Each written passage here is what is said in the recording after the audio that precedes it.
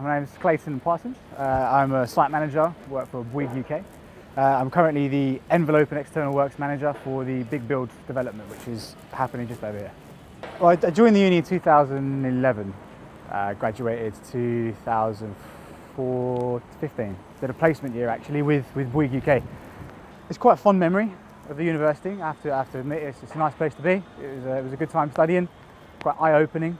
It was it's quite a practical course in a sense, not so much that you don't realise it until you actually get out in industry how much of it you use. You, you learn to manage a process as, as, a theory, the theory of project management when you're at university, you know. So you do the degree, you do your training, you learn your way around how to, to go about stuff in a roundabout sense. You learn how to you learn how to do things right, and good leadership is doing the right things. And so by a virtue of learning the first part, you then have to go out in the world and learn the second part. And when I graduated, uh, I went back to Bouygues. So I did my placement year with them just after my second year. Um, I did uh, school projects in East London with them, part of a BSF scheme for Tower Hamlets Council, which they had going on at the time. There was a refurb job attached to the back of the new build. So I ended up staying on working three days a week, Monday, Tuesday, Wednesday, uh, doing the refurb job with the director I was with at the time. Um, and I selected all of my modules for my last year so that I was in Thursday, Friday, solidly all day. Um, and then did my dissertation and bits and went back to Bouygues and carried on. So I haven't left, really.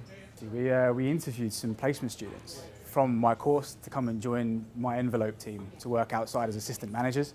And so I was asking them questions in the interview about the course and about how they felt about certain subject areas and bits that they were studying, purely based on my own experience. You're always on site first thing, 7, 7.30 in the morning. It's, it's long days, don't be under any illusions that it's not. Um, it's important to understand the technical aspect of what you're doing, I suppose, as much as it is to understand the management of side of things. Because so, a lot of people get distracted with uh, managing a process, managing a team of people, and they forget to actually have a look at the technicality of what they're doing. So advice is to learn what you're building first and foremost, long before you, you try and take on managing other people to build it, definitely.